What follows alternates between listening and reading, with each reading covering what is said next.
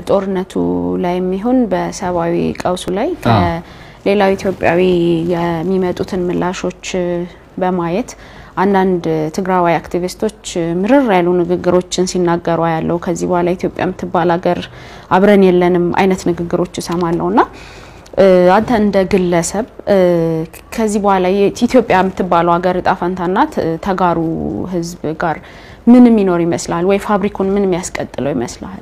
አዎ አሁን ይሄ ጥያቄ ምናልባት ፖለቲከኛው በተለያየ መንገድ ሊያዩ ይችላል። እኔ የምለው ምንድን ነው ኢትዮጵያ መሆን ኢትዮጵያ political project ነው። ኢትዮጵያ ማለት ፌዴሬሽን ነው። ክልሎች አሉባት፣ ህዝቦች አሉባት፣ መብትና ግዴታ ያለባቸው ማለት ነው።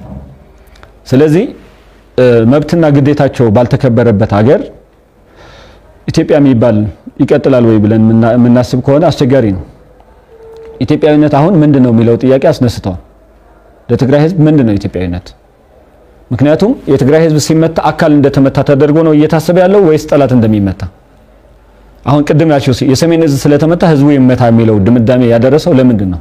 ምክንያቱም የተዘራው ጥላቻ አለ በእነ ኢሳት ማለት እነ ኢሳት ሌላ ስራ የላቸውም። ባይዘው እነ ኢሳት ፖለቲካቸው ሌላ ነው። ማንም ሰው የማይረዳው ሄዶ ሄዶ የኢትዮጵያ ፖለቲካ water politics ነው። የእነ ኢሳት ስፖንሰር ግብጽ ነች፣ ኤርትራ ነው ቀድሞ ማለት ነው። ስለዚህ ዋናው ምንድነው ህወሀት ማጥፋት ነው target የነበረው። ህወሀት ይጥፋ ነው። ምንም ሰይጣን ይምጣ ህወሀት ይጥፋ ነው። ህወሀት ከጠፋ በኋላ የሚጠፋውን ግን ማሰብ የቻለ የለም። እሺ ህወሀት ጠፋ። አሁን ህወሀት ከፖለቲካው ተገፍተው ጠፍቷል፣ ጫካም ገብተዋል። ከዛ በኋላ ስለሚጠፋው ነገር ግን ቆም ብሎ ማሰብ የቻለ የለም። እውነት ለመናገር ኢትዮጵያ እንደ መለስ ዜናዊ ያለ መሪ ታገኛለች ብዬ አላስብም፣ በእኔ ግምት በፍጹም ማለት ነው። በምን ጉዳይ? በኢትዮጵያዊነት በኢትዮጵያዊነት ትግራዋይነትም እንደዛ ጠባብም የነበረ ሰው አይደለም። ጭራሽ ትግራይን ረስቶ የተመረጠበት አድዋን ረስቶ ሙሉ ጊዜውን ለኢትዮጵያ የሰጠ መሪ ነበር። ትልቅ አስተሳሰብ፣ ትልቅ ራዕይ የነበረው የማይነካውን አባይ ግድብ 80 percent ያደረሰ ማለት ነው።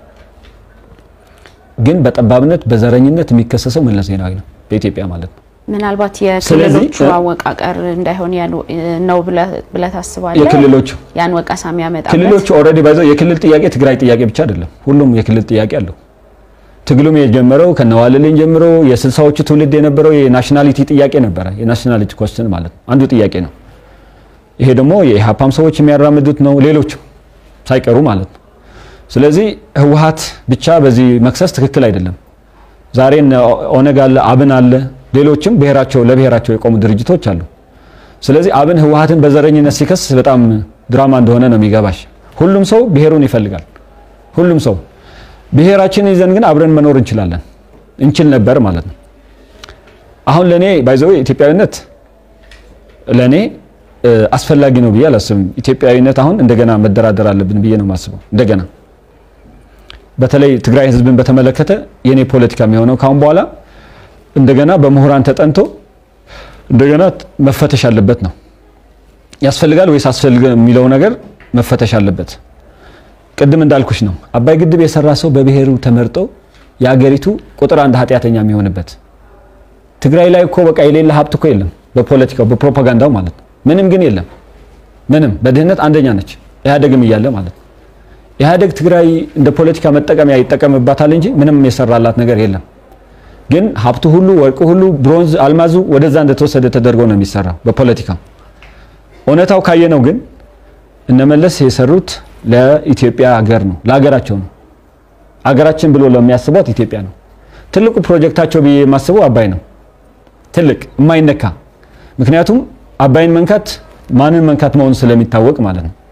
መጨረሻው የመለስ መሞትም ዝም ብሎ በቀላል የሚታይ አይደለም።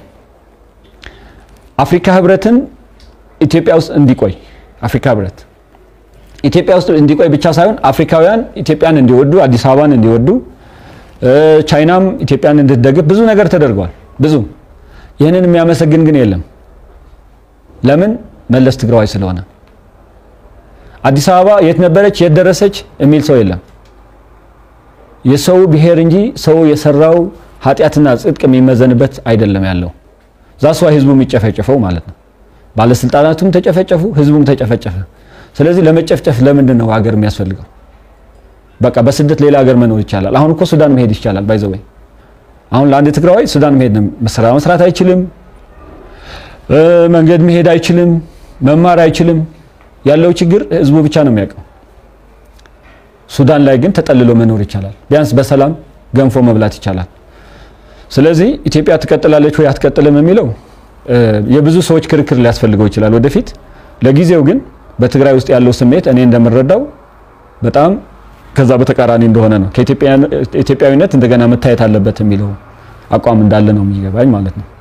በግልጽ የምለው እኔ ኢትዮጵያዊነት ያስፈልጋል ብዬ አላስብም። ለአንድ ትግራዋይ ኢትዮጵያዊ መሆን ማለት አንድ እስራኤላዊ ጀርመናዊ መሆን ፈለገም እንደማለት ነው። አሁን ባለኝ አጋ እንደኔ ኢትዮጵያዊ አልነበረም by the way መጀመሪያ አረና ከመሆኔ በፊት አንድነት መሆን ነበር የምፈልገው። አረና ደግሞ Ethiopianist party ነው፣ Ethiopianist ነው። ባይቶናም ስንሆን ፌዴሬሽን ነው፣ የፌዴሬሽን አቀንቃኞች ነን። አሁን ግን የህልውና አቀንቃኞች ነን። አሁን ፖለቲካ ፓርቲ ከጀርባ የለም። የትግራይ ህዝብ እንዴት ነው መኖር የሚችለው እንደ ሰው ነው። እዚህ አጣብቂኝ ውስጥ የከተተን ፖለቲካ የኢትዮጵያ ፖለቲካ እንደገና ተመልሰን እንግባበት ቢባል ተመልሶ ከመጥፋት በቀር ምንም ትርጉም የለውም።